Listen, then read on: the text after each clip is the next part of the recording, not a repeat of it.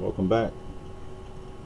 What I'm doing here uh, in this video is showing you how I make uh, some super porous activated carbon.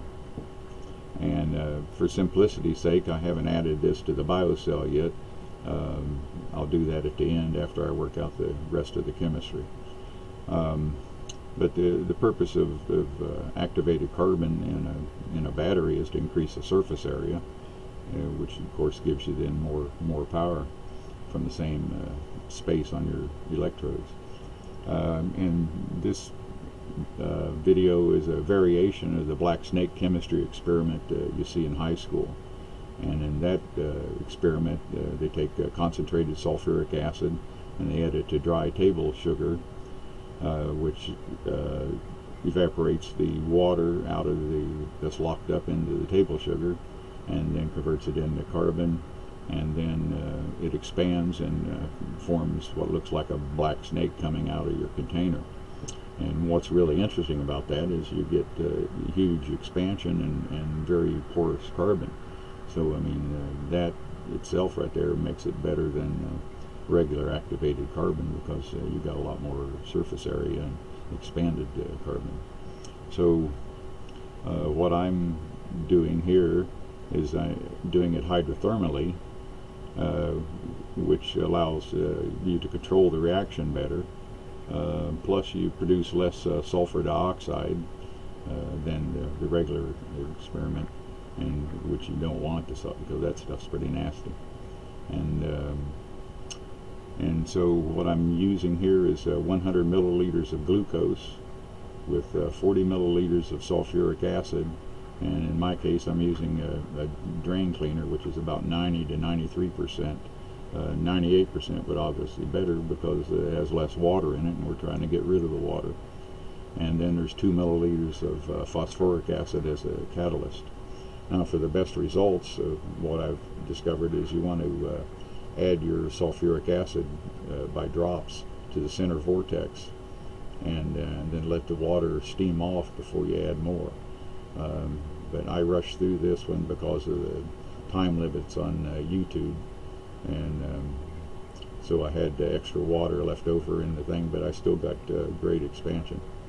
And uh, this is a the uh, mixture is in a, a 1,000 milliliter uh, beaker that's 1,200 milliliters to the top, and you'll see I, I, get a lot of spillover, so it's at least a 12 to 1 expansion and uh, if you did it uh, a little better you could get way more than that.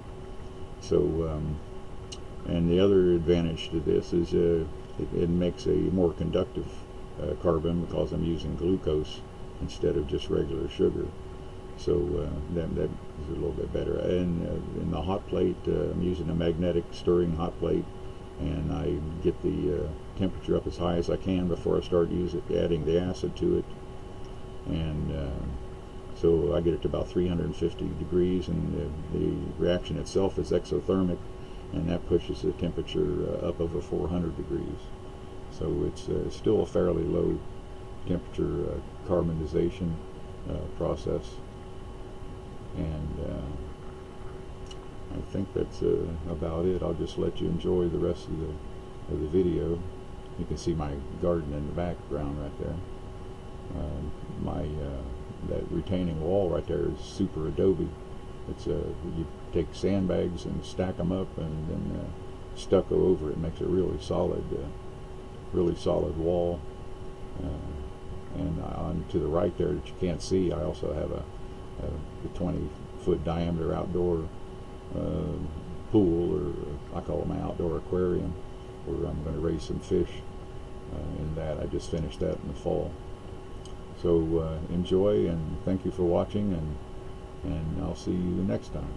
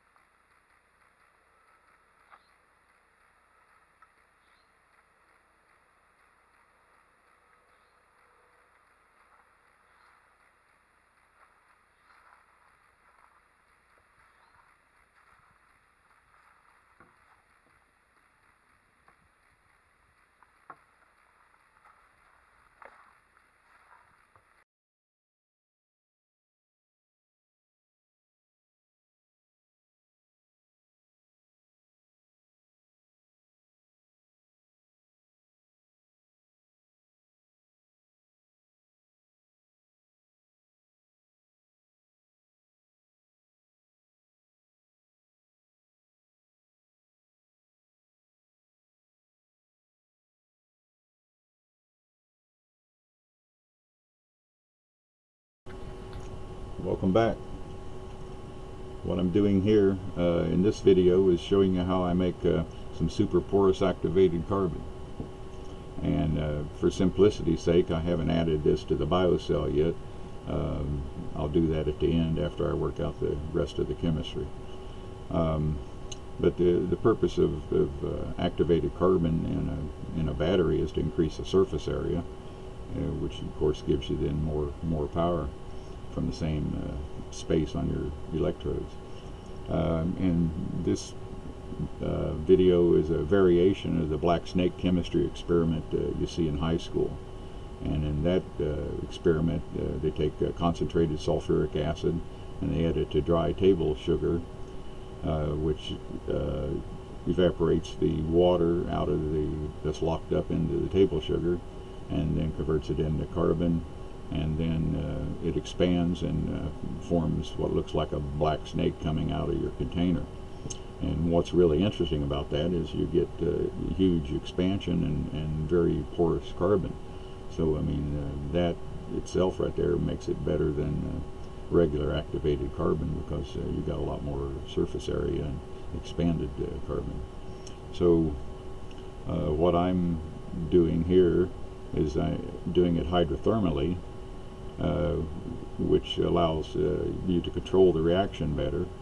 Uh, plus you produce less uh, sulfur dioxide uh, than the, the, regular experiment and which you don't want to because that stuff's pretty nasty. And um, and so what I'm using here is uh, 100 milliliters of glucose with uh, 40 milliliters of sulfuric acid and in my case I'm using a, a drain cleaner which is about 90 to 93 percent 98% uh, but obviously better because it has less water in it and we're trying to get rid of the water. And then there's 2 milliliters of uh, phosphoric acid as a catalyst. Now for the best results, uh, what I've discovered is you want to uh, add your sulfuric acid uh, by drops to the center vortex and, and, then let the water steam off before you add more. Um, but I rushed through this one because of the time limits on YouTube. And um, so I had uh, extra water left over in the thing but I still got uh, great expansion. And uh, this is a the uh, mixture is in a, a 1000 milliliter uh, beaker that's 1200 milliliters to the top. And uh, you'll see I, I, get a lot of spillover. So it's at least a 12 to 1 expansion and if you did it a little better you could get way more than that so, um, and the other advantage to this is uh, it, it, makes a more conductive uh, carbon because I'm using glucose instead of just regular sugar. So uh, that, that is a little bit better. And uh, in the hot plate, uh, I'm using a magnetic stirring hot plate, and I get the uh, temperature up as high as I can before I start using adding the acid to it. So I get it to about 350 degrees and the, the reaction itself is exothermic and that pushes the temperature uh, up over 400 degrees. So it's uh, still a fairly low temperature uh, carbonization uh, process. And uh, I think that's uh, about it. I'll just let you enjoy the rest of the, of the video. You can see my garden in the background right there. my that retaining wall right there is super adobe. It's a you take sandbags and stack them up and then uh, stucco over it makes a really solid, uh, really solid wall. Uh, and on to the right there that you can't see, I also have a, a 20 foot diameter outdoor uh, pool, or I call my outdoor aquarium, where I'm going to raise some fish. Uh, in that, I just finished that in the fall. So uh, enjoy and thank you for watching and, and I'll see you next time.